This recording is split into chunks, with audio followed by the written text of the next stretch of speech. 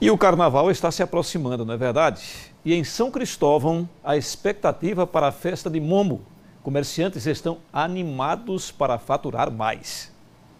A programação de carnaval em São Cristóvão começa já no dia 10, com bloquinhos de rua.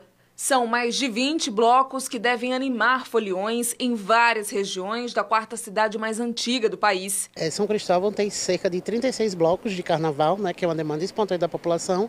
O que o município faz é dar um apoio estrutural, né, junto com a SMTT, com o apoio da polícia também, que entra junto aqui com o município, é, com a Sensurb, né, para organizar é, todo esse carnaval, para que quem venha visitar a cidade consiga eh, ver uma programação bem tranquila para toda a família e com uma estrutura bem organizada. Né? A quantidade de blocos de carnaval aumentou. Em São Cristóvão, os desfiles têm duas vertentes, do tradicional aos trios elétricos. E nos últimos anos a gente vem é, registrando um aumento do número de blocos espontâneos na cidade e, ao mesmo tempo, um aumento do público que vem, né? Que não é só a população da cidade, vem muita gente de Aracaju, de municípios próximos também, para vir curtir o carnaval aqui, porque o carnaval aqui no Centro Histórico ele é bastante tranquilo, né? as pessoas se fantasiam, a família vem vem toda junta, criança, adulto.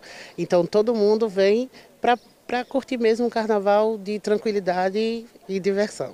Se a tradição do carnaval vem crescendo em São Cristóvão, quem comemora é a cadeia empresarial. E a expectativa é de aumento dos lucros no setor de bares e restaurantes, algo que faz grande diferença depois de dois anos com restrições da pandemia. É um evento que movimenta toda a cidade, isso é muito bom para a economia local, tanto para os formais, ou seja, os donos de bares e restaurantes, que atendem uma demanda muito maior, como também para os informais, aqueles que vêm fazer, é, vender durante todo o cortejo dos blocos e também nas praças. Né?